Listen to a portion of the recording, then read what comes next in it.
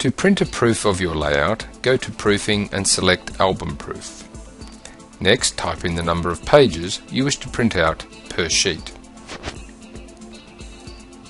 Select your printer and settings.